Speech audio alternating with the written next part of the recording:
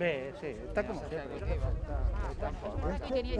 Avui s'acaba una fase que es remunta a l'any 95, quan l'Ajuntament de Viladecans va apuntalar la nau de l'ermita i va encarregar al Servei de Patrimoni Arquitectònic Local de la Diputació de Barcelona la redacció i direcció del projecte. Al llarg d'aquests anys han passat molts professionals que han anat deixant la seva empremta científica sobre aquest espai, que si bé és petit, en, en quant a dimensions, ha estat molt complex i laboriós.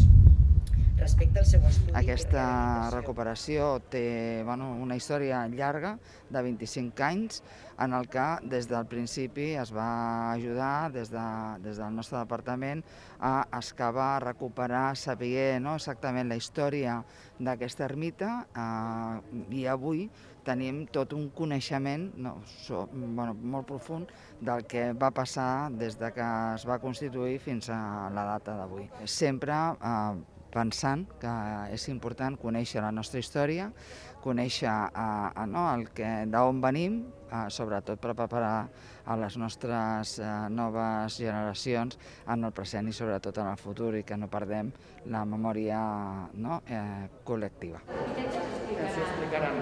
Bueno, la, d'aquí es veu ara, a la classe 21. L'ermita ara formarà part de tot un recorregut explicatiu d'aquest patrimoni del Delta i en especial del, del patrimoni de, de Viladecans.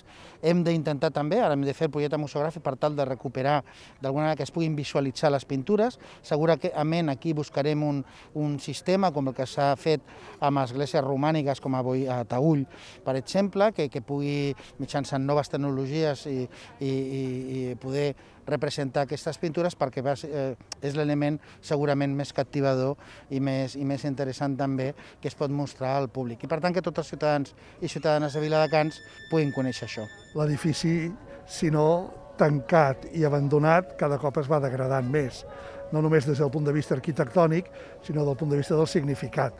Eh? Una ermita de la Mare de Sales, amb tota la història llarguíssima que té, doncs el, el seu, la seva destinació bona és que estigui oberta per als fidels de la població i també per totes les persones eh, aimants del paisatge o, o de la cultura o de la història.